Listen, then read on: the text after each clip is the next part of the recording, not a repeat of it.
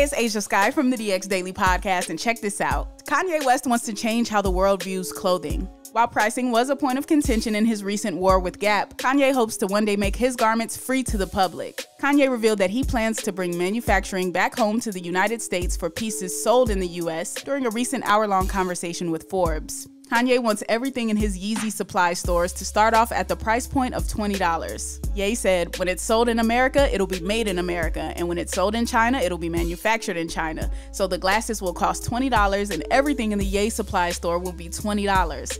And we're working on how to make clothing free because life is free. It's our responsibility and pleasure to turn these dreams into reality, to simplify things, and to provide more room for people to imagine, not constricting or enforcing ideas. Now, even though Ye terminated his deal with Gap, he's still leaving the door open to co parent his Yeezy products with Adidas in the future if they are willing to meet him in the middle on a few guidelines. He said, and this is where Adidas and I are. There's a possibility we can co parent products that we make, but not in a way where I'm not getting say so over colorways and they're treating me like I'm dead. And to see bags in the Times Square store at the number one prime real estate located in the world, where any company with the stores would want that store it was the first time that Gap's comps were up since 2013.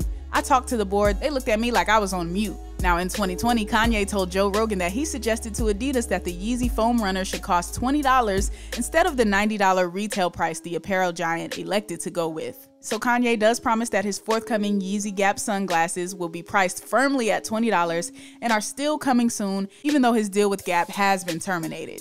So, what do you think about Kanye's new clothing ambitions? Do you think he will actually be able to price everything at $20? And do you think he'll eventually make it free? Let us know in the comment section. Also, be sure to subscribe to the channel, hit that notification bell, subscribe to the DX Daily Podcast, and stay locked in to Hip Hop DX.